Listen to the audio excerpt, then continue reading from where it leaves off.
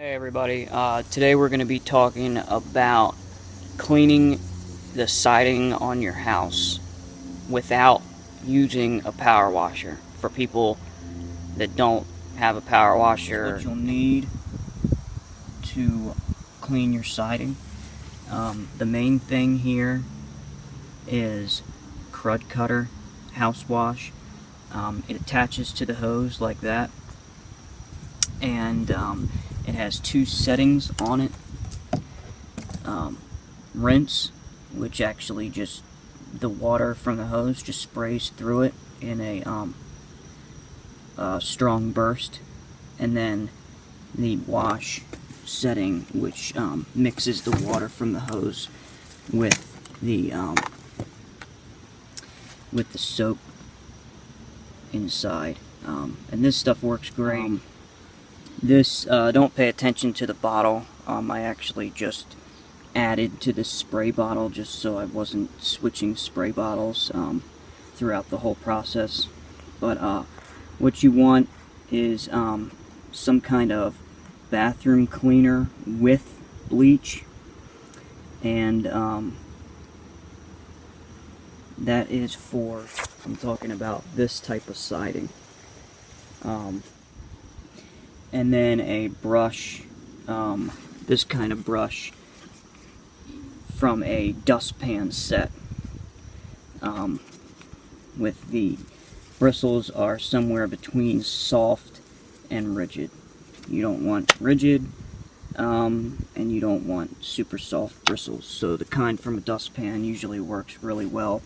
However, I have to warn you that after you're done using it for this purpose, for scrubbing, um, it's not going to be any use anymore to uh, for with a dustpan. So, um, and obviously the hose is also on your list of things you need.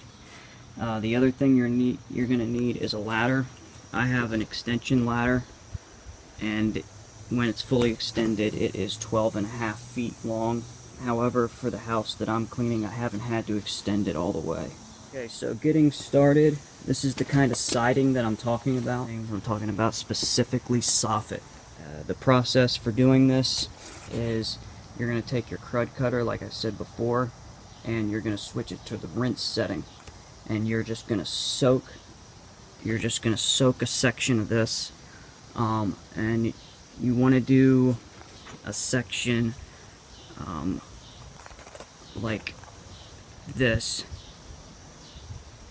or less. A section about this size or half this size at a time. Because what you're going to do is you're going to spray, spray it down with water to soak it. Then you're going to spray it down again with the Krud Kutter. You're going to spray it down again with the Krud Kutter formula. And then you're going to take your Tilex and your brush and you're I like, with those two things, I like to start low and scrub it in as best I can, spray it and scrub it in and try to reach as high as I can so that way when I get up on the ladder I know how high I can go. Show you a before shot um, up close. This is what the siding looks like before using the formula and the technique of scrubbing it out. Right, so what I was saying before about the ladder and its height, my ladder is 12 and a half feet tall. Um, I haven't had to extend it 12 and a half feet the whole time I've been doing this. I'm almost, I'm pretty much done.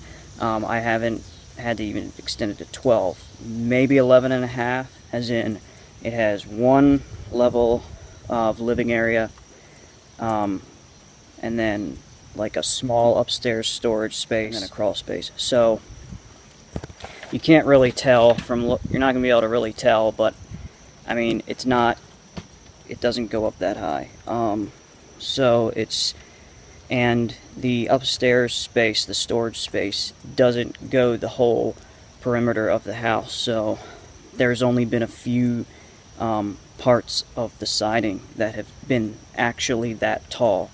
Um, and anyway I showed you a before a little while ago this is an example of the after.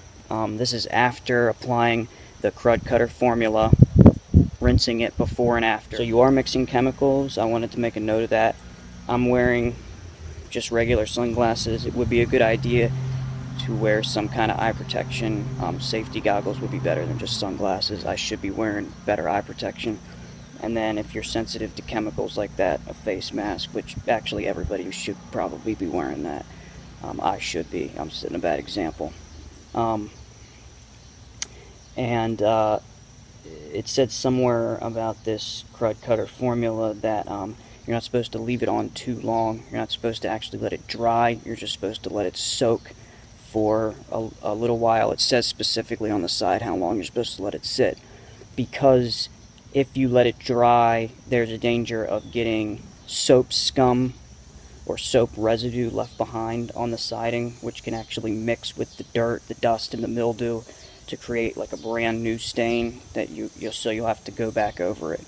Um, but that's all it means is you have to go back over it. It's not going to permanently damage anything if you le- accidentally leave it on too long. But it's just better to follow the directions on the thing and get it off and so done. I actually wanted to give you a quick example.